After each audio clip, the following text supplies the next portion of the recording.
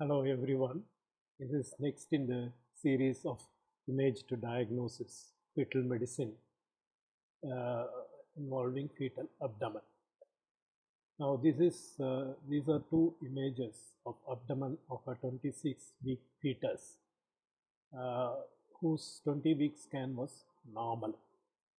The image on the left is uh, uh, that of upper abdomen, an image on the right is that of mid abdomen.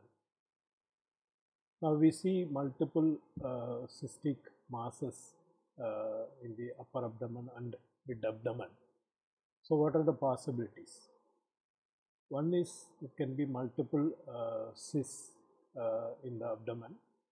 Second is it can be uh, uh, dilated loops of bowel, but they are not close together.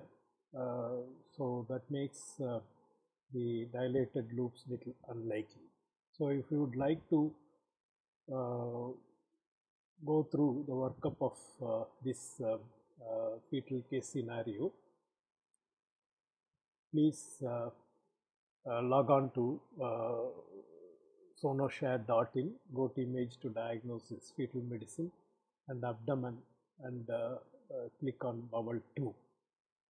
Thank you.